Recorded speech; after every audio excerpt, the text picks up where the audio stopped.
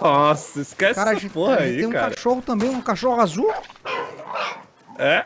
Caralho, um cachorro cromado, viado. Olha lá, rende cachorro, Vitor.